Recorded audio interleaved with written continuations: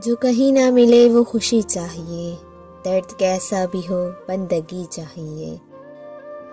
मुझे दुनिया की अब कोई ख्वाहिश नहीं, आखरत की मुझे ज़िंदगी चाहिए।